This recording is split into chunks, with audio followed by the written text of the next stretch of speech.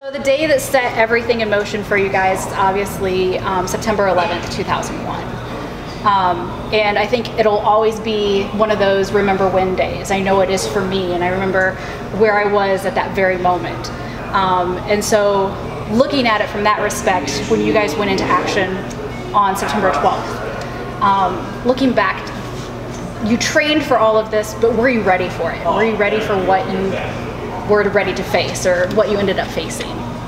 Yeah, I think so. We were a mature team. We had uh, the average age was 32, Okay. and we had uh, a lot of the a lot of the guys were married and they had families. So They were established and they were established. They had uh, solid ground. They had uh, a good family Like support, network. yeah. So yeah, I think we were ready, and I think we, you know, the question has come up.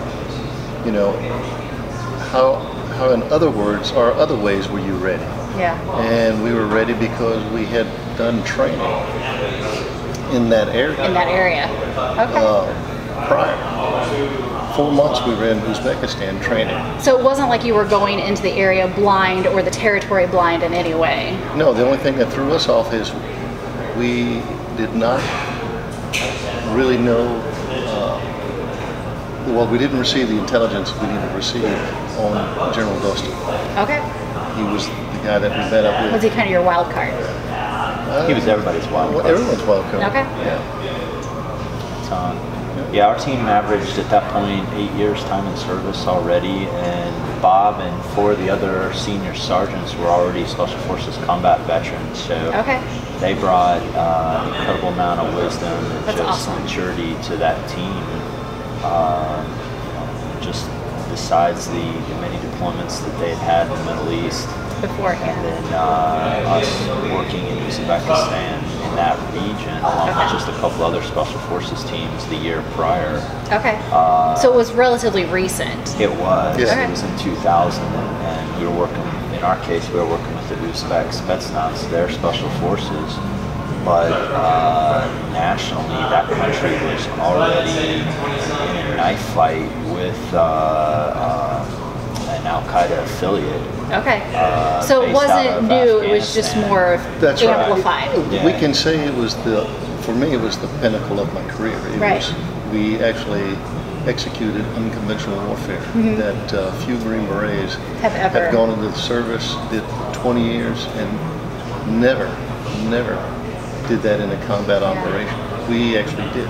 So following that mission, were how many of you out of your group um, was that being that their pinnacle of your career? Did they choose not to continue in the military after that, or did you guys go on to have very storied and different paths when it came to that? Yeah, but basically everyone stayed in the military at that time. We had one guy, uh, Steve, that I think a couple of years later, Yeah, they all stayed in and They retired. stayed. though. Okay. Uh, you know, so Yeah. the guys. That's I think something else that's incredible about that team is uh, we lost uh, a sergeant first class Bill Bennett uh, Okay. about a year later, still on the same team. Uh, I had moved on along with a couple of the other guys, but Bob and the core of the team was still together, and they were instrumental in spearheading uh, the initial operations into Iraq. And is that a rarity when you uh, deal with that that caliber and that level that you guys were operating at? Is that a rarity to have that long of a career, or is it something that it, No, once it's ingrained? actually, for the most part, you'll get a guy that actually stays in 20 years and is- out. He's retired. Okay. Uh, some come in. Now, the guys that came in after us, they Uh-huh. came in for the adventure. They wanted to go deploy, do the things that they saw us do. Saw you doing. Right. We knew that we would be taking on other missions Yeah. and go to other countries. So, Yeah. Motivations were completely different. th- exactly. yeah. We had a long-term goal.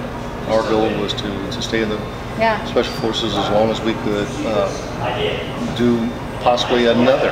As much. serve, go on to retire with 20, 24 years, or in the case of Bob and one of the other guys, more than 30 plus years Long of service, careers. most of that Yeah. in special forces, and uh, moving up to different different levels. Yeah. Uh, uh, a lot of them several of them moved on to become instructors. at Okay. Schoolhouse to pass on some of that. I always think that's the true mark Uh, of a passion and a profession is when you begin to teach. Well, well, uh, except for two guys, everyone else made uh, E8 team sergeant. Okay. Uh, commanded a team. Uh, Mark made major. I made uh, CW4, Okay. Chief Chief Officer Warrant 4. Officer. Uh, one of the guys made captain, Gaia. and we had two guys make command sergeant major or sergeant major. Very nice. But the, all those guys, you know, at their pinnacles going on after Afghanistan, we Yeah. had just one blip on One a long thing, and career. then, yeah. You know, they had multiple deployments back to Iraq. Uh, we had several of the guys who were involved in Syria. Uh, Okay. So there's a whole legacy uh, that has been That carved continued, out uh, yeah. from that, the 12 guys on that. That's team. amazing. And Uh, actually, Mark, Mark, uh, he and I talked about this. We actually like to document the legacy that the team.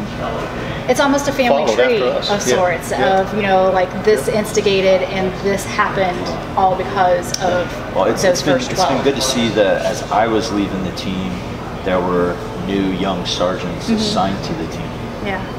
We meet them periodically throughout our careers, and just uh, a month ago, I ran into one of those. He's, now a CW4 as well, uh, and, and is, is to see those guys continue to grow and have an impact uh, on today's current operations uh, is, is a deep legacy left Yeah. by It's the a true mark of legacy, team. yeah. Uh, several of the, I'm so proud of these guys. There's several of the team, the guys from this team that became team sergeants, along with Bob. You know, they rotated back to Iraq numerous times, but they were instrumental in the key successes that happened That in happened. Iraq as well. And it all was the culmination of flipping- milestones, Yes, with yeah. flipping Al Qaeda out, the Sunni tribes turning around and being an ally and stepping up. All these things that are credited to generals, there were Green Beret Green Berets. sergeants Yeah. involved in that. Young and, sergeants. and the core of them were relate back to certainly the fifth group and to the, uh, the awesome. 595 team. Very cool. Yeah, it'll always be that, that the, those NCOs are the backbone of special forces, Mm-hmm. and they are because they actually are the frontline guys training Right. that Host Nation force. The men on those teams, most of them are now retired, uh, and that, you know, that, that legacy is passed to Yeah. the next The generation. next generation. Uh, And we do hear from some of those guys from time to time. Or That's they- excellent. Yeah, they'll, you know, they'll reach out or a message or something. Yeah, And, in some way, and How stay you guys connected. doing? You know, what I are love you doing it. now? You know. So Part- that part kind of, that, yeah. honoring that you know that legacy going forward. Who knows what impact those guys? They- They're dealing with some very tough and complex problems around the Yeah. world tonight. Uh, the teams, these Green Berets, Special Forces, our Special Operations community at large, are, are involved in helping our allies with some very complex, Very. Uh, Yeah. challenging problems tonight.